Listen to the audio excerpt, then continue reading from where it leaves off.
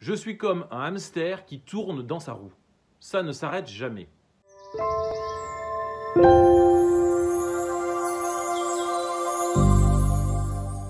Quand je travaille à la maison, je passe de longues heures seul dans le silence pour écrire. Qu'est-ce que je fais alors? Naturellement, je me réfugie dans ma tête et je rumine. Louise Kutener a écrit Les riches ont des angoisses, les pauvres ont des inquiétudes. J'ai beaucoup de temps libre. Du coup, naturellement, j'ai énormément d'angoisse. Avec le temps, je suis devenu ceinture noire de rumination mentale. Les Américains parlent d'overthinking. La rumination mentale, c'est repasser en boucle de façon obsessionnelle des événements désagréables ou des sentiments négatifs. Soit je prends un événement du passé et je le revis indéfiniment en regrettant qu'il ne se soit pas passé différemment. Je mets du sel sur la plaie. Soit j'imagine le pire pour l'avenir. Je suis comme un hamster qui tourne dans sa roue. Ça ne s'arrête jamais.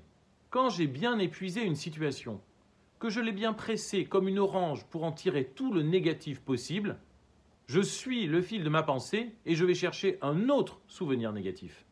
Et là, je recommence. Le plus beau, c'est que des roues de hamster comme ça, dans ma tête, il y en a des centaines de milliers. Je n'ai qu'à choisir. Voyons voir qu'est-ce que je vais pouvoir piocher aujourd'hui. Anxiété. Doute regret.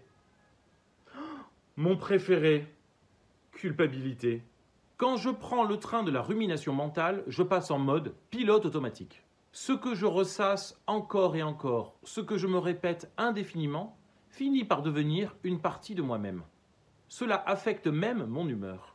Quand je pense que cette connasse m'a dit que j'étais ridicule et que je réagissais comme un gamin de maternelle, ça me fout hors de moi. Et attention, ça, ça ne s'est pas passé en juin 2003 à Sciences Po, dans la péniche, à la sortie d'un cours de droit constitutionnel de Jean-Emmanuel Ray. Pas du tout. Ça s'est passé aujourd'hui même. Il y a deux ingrédients indispensables pour obtenir de belles ruminations mentales. Tout d'abord, du temps. Il faut que j'ai des heures devant moi à ne rien faire. Ou plutôt à savoir ce que je devrais faire, à m'être libéré du temps pour faire ce que j'ai prévu de faire et à ne rien faire. Là, je kiffe. Et ensuite, il me faut de l'hésitation. Quand j'ai des certitudes, je ne rumine pas, j'avance. Je suis dans la réalité. Pour se perdre dans sa tête, il faut être pétri de doute. La souffrance que je m'inflige en pensant trop et inutilement est un délice de supplice. Vous n'imaginez pas le temps et l'énergie que je perds à trop imaginer, à réfléchir, à regretter, à me comparer aux autres. Or, les problèmes ne se règlent pas en y réfléchissant. Je n'ai jamais résolu un conflit simplement en y pensant en se rappelant des souvenirs douloureux, la seule chose que je réussis à faire, c'est de les faire grandir. Je regrette de ne pas m'être lancé plus tôt dans la littérature au lieu d'écrire. Alors que je suis seul chez moi, devant mon ordi, et je n'ai rien d'autre à faire qu'à écrire. Et je sais aussi qu'entre ce que j'imagine et la réalité, il y a un monde. Non, je n'étais pas plus heureux à l'époque. Non, je n'aurais pas été plus heureux si cela s'était passé différemment. Je me connais si cela s'était produit différemment, aujourd'hui, je serais en train de regretter la façon dont ça s'est passé. En réfléchissant trop, je me fais souffrir inutilement et je ne règle aucun problème. Tout ça, je le sais. Et pourtant, je ne peux pas m'en empêcher. Comment sortir de la rumination mentale?